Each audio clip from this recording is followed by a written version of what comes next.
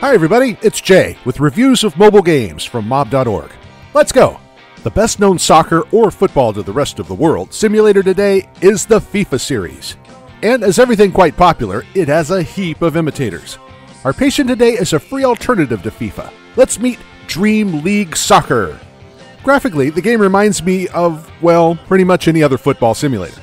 That makes sense. I have to tell you though, the graphics here aren't the most impressive, but quite decent overall. The football players all have different faces, and shadows from spotlights dynamically change. However, cutscenes with the audience are not shown to us. Probably developers couldn't draw the crowd adequately and decided to use other methods. That in general is good, sometimes less is more after all. The physical engine is also quite good. When we speak about free soccer games, I always remember dozens of videos on YouTube in which the laws of physics cease to exist and players fall through the ground, writhe in strange poses, and so on. By the way, FIFA has been guilty of such things as well, but during the time that I was playing, nothing out of the ordinary happened. Though I might just be lucky. At the beginning of the game, you receive a message that it's time to gather your team. Then you select the team captain from a quite a big list of real life players.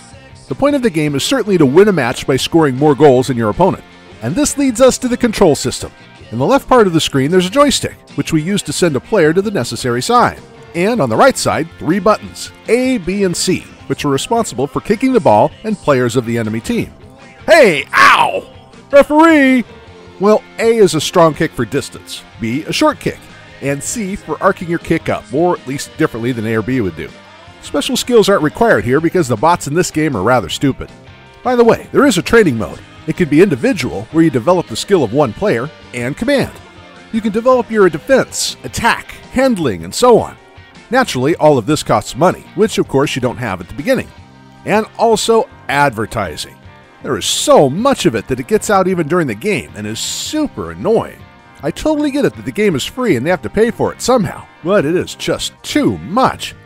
Oh, by the way, if you go crazy and violate the rules too obviously, your player receives a red card and can be sidelined for some matches. You can get a dirty drop on an enemy, but you have to be careful about it. Well, what can I say about the game in general? It's not as rich or as fancy as FIFA. There are less opportunities and more defects, but in general, it is still quite playable. So it's up to you. That's all for today. Follow, like, and stick around with us. This was Jay with reviews from mob.org. See you!